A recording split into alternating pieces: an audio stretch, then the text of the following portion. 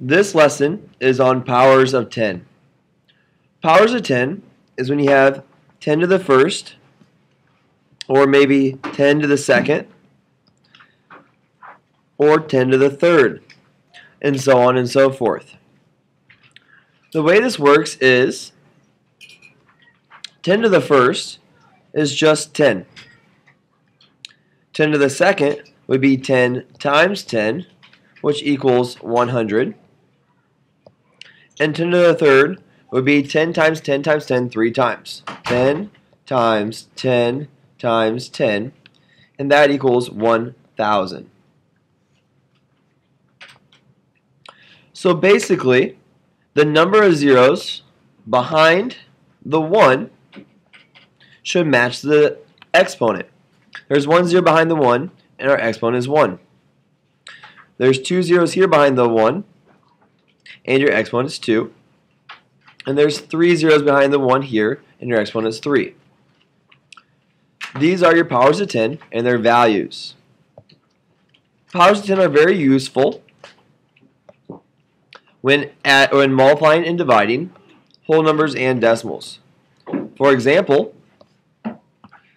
47 and 43 hundredths times 10 to the second is a very easy problem to do.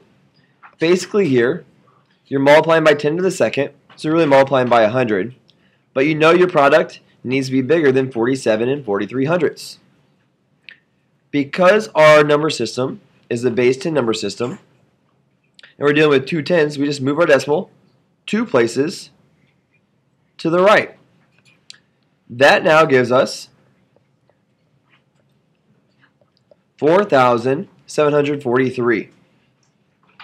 You can also do division.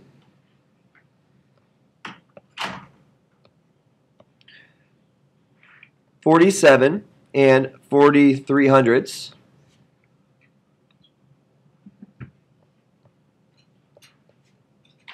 Divided by 10 to the second. You know your quotient needs to be smaller than 47 and 43 hundredths, so you need to move your decimal to the left. Here, we got to move it two spots again. One, two.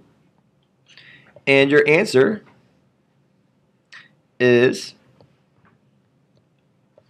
4,743 ten thousandths.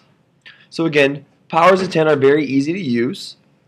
All you do is multiply and divide by powers of 10 by moving your decimal as many places as your exponent says. Remember, division, move your decimal to the right, or I mean left, to get a smaller number, and multiplication, move your decimal to the right to get a bigger number. Thank you for watching my video on powers of 10.